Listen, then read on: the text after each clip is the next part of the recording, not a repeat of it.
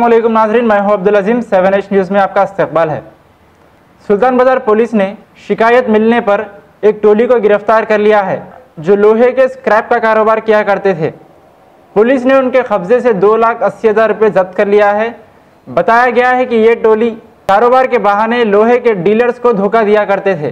आइए देखते हैं इस मामले पर राहुल की ये रिपोर्ट। पुलिस ने एक चीटिंग गैंग को पकड़ लिया जो आयरन स्क्रैप डील करने करने के बहाने में लोगों को चीट करते हैं, आयरन डीलर्स को। ये लोग पूरा आठ लोग हैं, आठ में से छः लोगों को हमने आज अरेस्ट किए और उसमें से दो लाख अस्सी हज़ार रुपये उनसे बरामद किए। हमारे पास एक केस रजिस्टर हुआ था तीन अप्रैल को। इसमें एक कर्नूल का स्क्रैप डीलर है, जिन्होंने ये अक्यूज वाले, ये आठ लोग मिलके उनको चीटिंग किया और 25 लाख रुपए उनके अकाउंट में डलवा दे अकाउंट में डलवा के हैदराबाद में बैंक में ये लोग विड्रा करके पूरा पैसे अपने आपस में बांट लिए। ये कर्नूल वाले केस रजिस्टर करने से इनकार किए और मुंबई में भी इनका केस रजिस्टर नहीं हुआ क्योंकि कंप्लेनेंट मुंबई का रहने वाला है और ये बाकी लोग कुछ हैदराबाद और कुछ पुणे और गुजरात के रहने वाले हैं।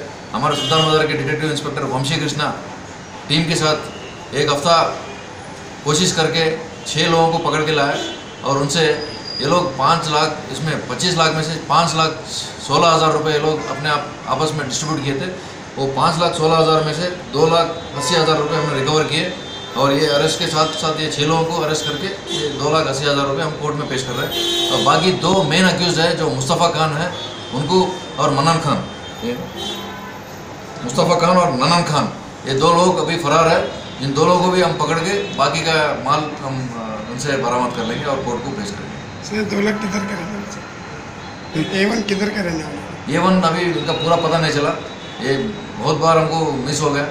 पूना और गुजरात में इंस्पेक्टर की टीम को चकमा दे के भागे वो मतलब मिलते मिलते ही निकल गए। बस उसको पकड़ लेंगे।